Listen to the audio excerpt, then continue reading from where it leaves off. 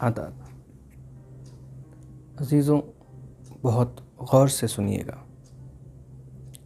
Facebook Instagram WhatsApp Twitter वगैरह पर हज़रत अली अलैहिस्सलाम के नाम नामी के साथ बहुत से उनके अकवाल कोटेशंस अहदीस नक़ल किए जाते हैं मैसेजेस पोस्ट्स की सूरत में।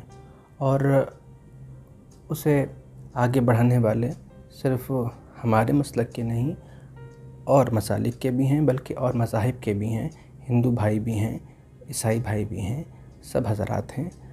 बहुत अच्छा वो काम करते हैं।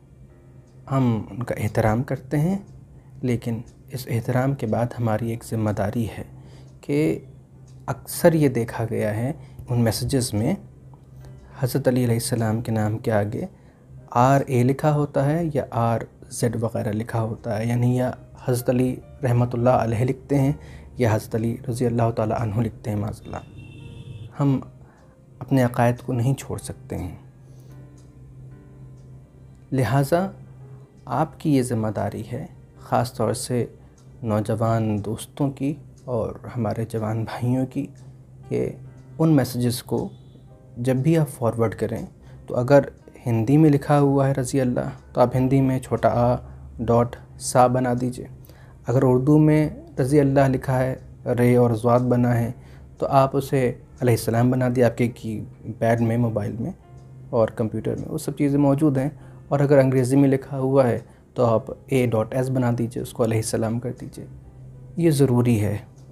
आप जिस भी आलम, फ़ाज़ल और जिस भी आयतुल्लाह की तकलीद में हूँ ए टू जेड कोई भी हो, उनके मकालात, उनके दरूस वग़ैरह सब आप सुने, आपको समझ में आ जाएगा सिवाय विलायत अली इब्न तालिब सलाम के, कोई और चीज़ है नहीं जो आपको वहाँ सहारा देगी। अगर ये है तो सब कुछ है। ये नहीं है तो कुछ भी नहीं है। औंधे मुँह दो में ढकेल दिए जाएँगे।